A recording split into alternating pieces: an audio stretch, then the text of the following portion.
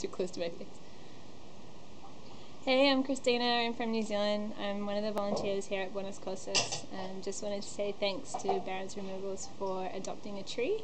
Um, peace, love, and Buenas Cosas.